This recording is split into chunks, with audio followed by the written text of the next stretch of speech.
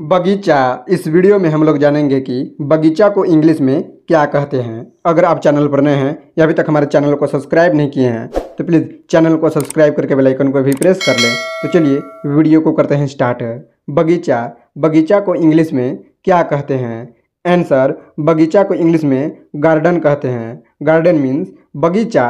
अगर आपको यह जानकारी अच्छा लगा हो तो प्लीज़ वीडियो को लाइक करें, चैनल को सब्सक्राइब करके बेल आइकन को भी प्रेस कर लें। तो बस आज की वीडियो में इतना ही। Thanks for watching.